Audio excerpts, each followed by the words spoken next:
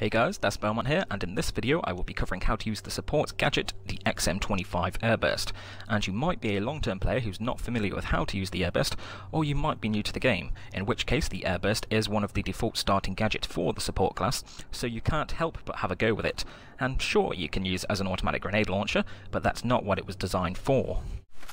The airburst is made for engaging targets behind cover or those annoying snipers camping on rooftops, as the projectile is able to detonate 3 meters past cover, whether it's above or to the sides of that cover. And the airburst goes nicely with an LMG if you're laying down suppression, forcing the enemy to take cover, at which point you can just get out the XM25 airburst and prove to the enemy that they're not as safe as they think that they might be.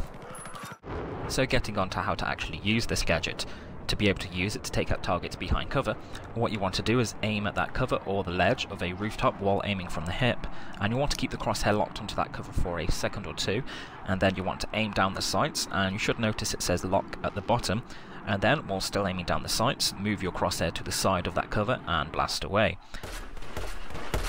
And if you did this correctly, the airburst projectiles will detonate 3 meters past the cover. So to clarify, aim the hipfire crosshair at any piece of cover and hold it for a second or two, then aim down the sights and move the crosshair to any side of that cover and blast away.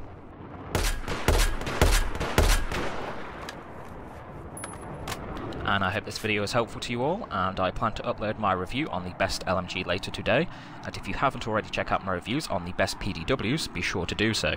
And as always, thanks for watching, and I'll see you on the battlefield.